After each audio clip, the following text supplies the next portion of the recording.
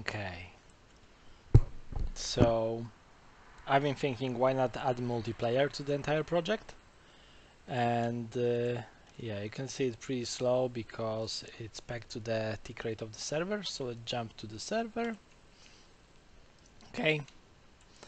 So the characters move. They now have a turn in place animation. They have proper jump land the sword position is uh, based on the IK and it's uh, related to the animation itself, how it was made. And it was made really good when it comes to Kubold mocap animations, they're amazing. Uh, landing is root motion, so you can adjust bunny hop, you will always stop when you jump. And now you have a proper uh, combo attacks. So with uh, left mouse button I can start my first attack and on the end of the attack it resets so I can do it again. However, I have an input buffer that allows me to go from first attack right to the second attack. First one and second and you can see that bit, um, or maybe here that between my second click and the actual attack there's a small uh, time frame and that is because of how it is being set up and you see the um,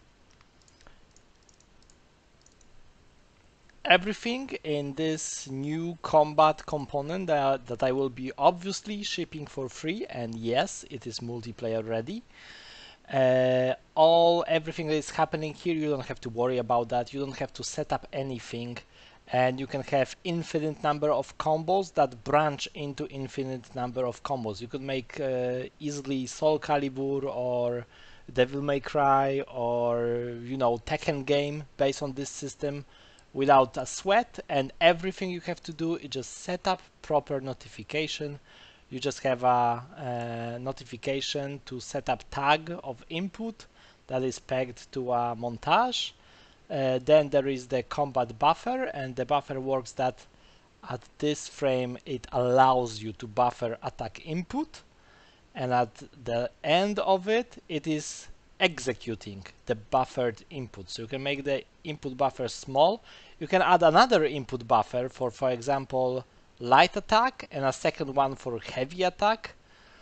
Um, or you could have multiple buffers. So if you hit cancel at this point, you will do a vault backward, but if you hit attack at this point, you will do something else. So yeah, you can do that and you can set up what will be the next action depending on the input here and you can set up this multiple times. And then you are just allowing inputs at certain uh, points and then you are executing whatever got uh, buffered if it was valid. So yeah and then at the end you always have to just uh, set up this reset combo but there is obviously a failsafe that if this never triggers because for example this montage was uh, overwritten by something else. Let's make this window higher. Um, then it will reset anyway. And I am working hard on those uh, notifications to give them as much flexibility as possible and for them to be as easy to set up as possible. And um, yeah, that that and everything is multiplayer and uh, looks pretty good. Like attack, attack.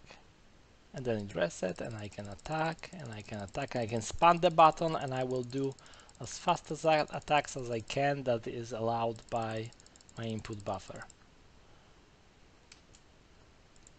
And I cannot attack in air, however I could have uh, different combos that are in air uh, than those that are on the ground and I would just have a different input buffer for ground attacks and different for buffer for air attacks and I will definitely uh, try it out and show you the results. The character can also sprint while looking always forward and he doesn't use aim offset when attacking because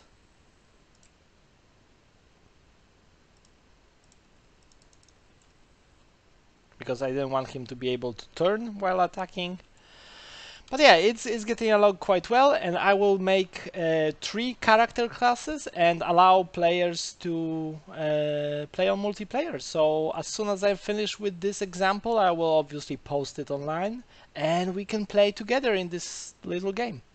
Because why not? Uh, see you guys soon.